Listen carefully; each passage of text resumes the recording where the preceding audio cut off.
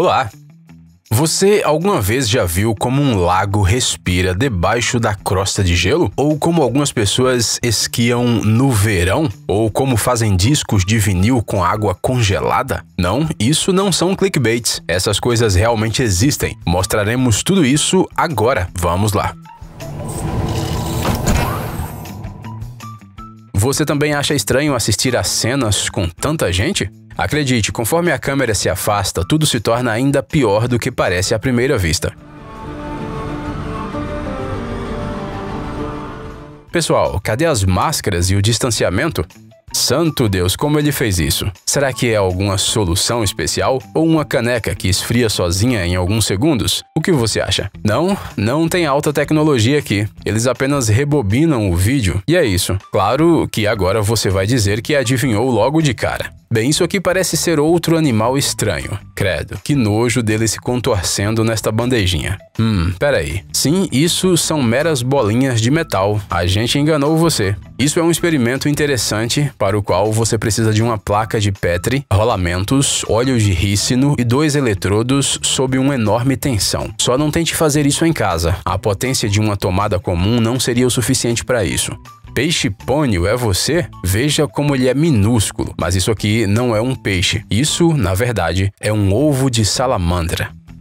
Ouvir música no Spotify é para os fracos. O negócio é comprar um toca-discos de vinil e fazer você mesmo o disco do seu artista favorito. A propósito, isso não requer materiais difíceis e caros, basta um pouco de água comum. Foi isso que uma banda sueca inventou para comemorar o lançamento de uma nova música. Os caras enviaram para seus fãs mais leais uma forma especial com a qual eles podiam fazer um disco de gelo. E você não vai acreditar, mas o som não é nada mal. Se bem que provavelmente depois disso você pode dizer adeus à agulha.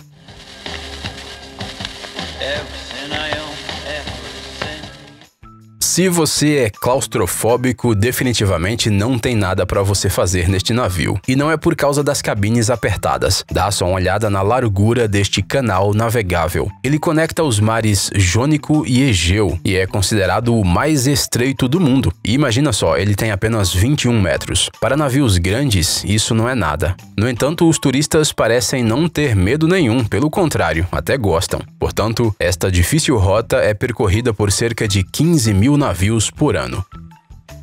Temos só uma pergunta: como? Tá, até podemos acreditar que esses dois são loucos o suficiente para concordar em jogar tênis nas asas de um avião. Mas como eles fizeram com as rajadas de vento que interferem claramente na trajetória da bola? Bem, não sabemos a resposta para esta pergunta, mas a julgar pelo fato de que o vídeo nunca mostra uma jogada bem sucedida, com certeza há truques.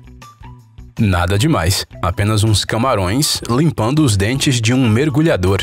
Vamos seguir em frente.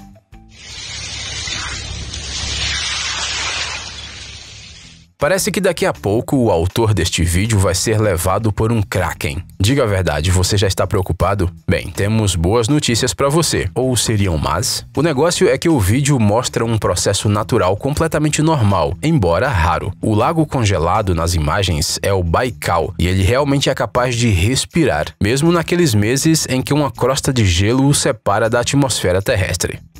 É assim que nossos seguidores ficam quando veem que tem vídeo novo no Refúgio Mental. Aliás, se você também quer ser o primeiro a comentar, se inscreva e clique no sininho. Essas garotas do vídeo estão, na verdade, participando de uma competição esportiva chinesa muito antiga. É como uma corrida de esqui, só que no verão e com três pessoas. Parece uma boa gincana para um casamento, mas é melhor não tentar repetir isso em casa. A atividade que você vê na tela tem um alto índice de lesão. Ela requer uma sincronia fantástica. O menor erro de um dos membros da equipe pode terminar dolorosamente para todos.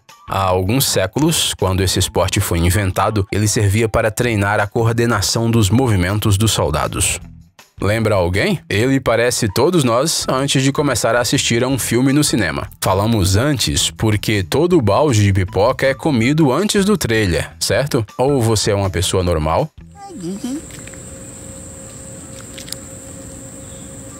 Que monstro é esse? Parece algum tipo de robô do universo Star Wars. Será um novo amigo do R2D2? Mas falando sério agora, essa é uma inovação do mundo da agricultura que em alguns anos provavelmente poderá ser vista em todas as grandes fazendas do mundo. Na área da suspensão desta coisa, existem sensores especiais que analisam cuidadosamente a localização das ervas daninhas em tempo real. Existe também uma poderosa arma laser que é ativada quando necessário e destrói tudo o que for inútil. Bem que a gente disse que parece ter o dedo do George Lucas nisso aí.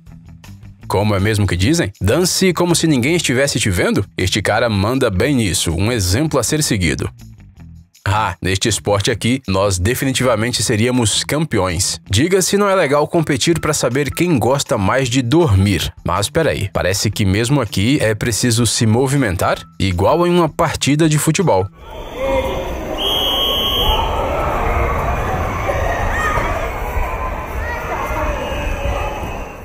Dá só uma olhada. O cobertor serve como um escudo com o qual o goleiro protege sua equipe. Já os travesseiros podem ser muitos. É com ele que os jogadores tentam nocautear os oponentes. Porque ninguém nunca nos mostrou esse jogo na infância. Parece que já temos planos para esta noite.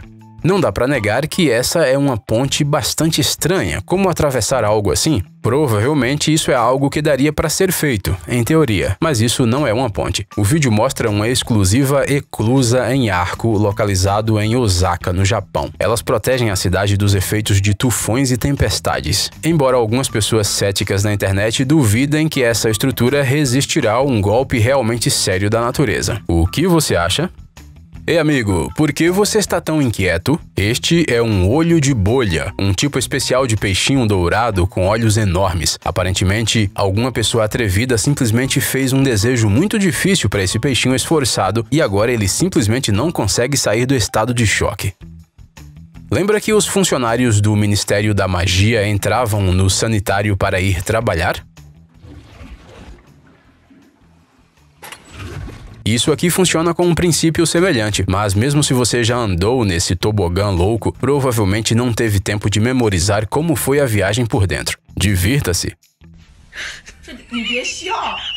Alguma ideia do porquê alguém iria querer unir os chifres deste pobre animal? Um pedaço de pneu de bicicleta? Bem, não temos como saber com certeza, mas provavelmente o dono deste touro simplesmente não queria que ele brigasse com os outros. Será que esse gênio não quer registrar uma patente?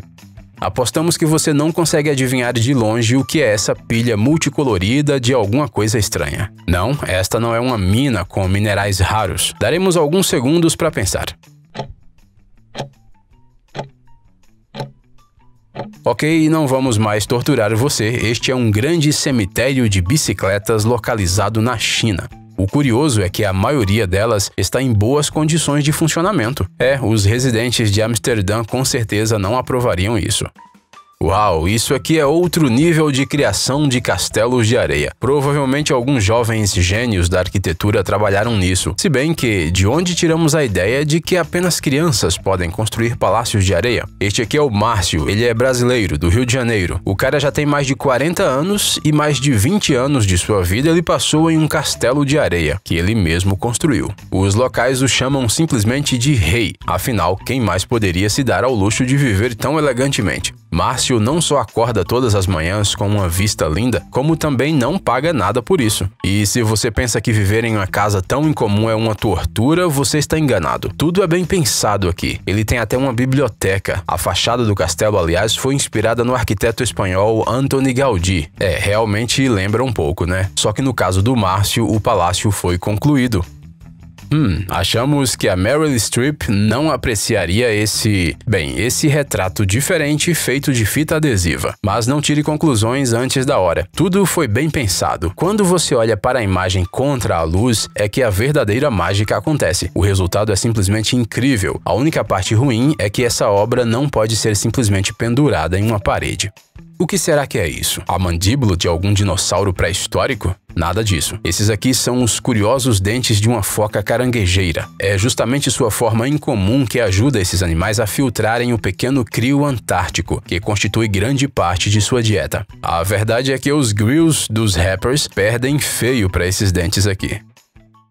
Espera um pouco, você quer ver algumas histórias loucas da vida real? Nada monótono, apenas ação, apenas aventuras, perseguições e brigas, confissões de amor e traições repentinas. Não acredita na gente? Clique no link e veja por si mesmo. Nosso canal de animação Diário Privado revela os segredos mais profundos. E não se esquece de se inscrever.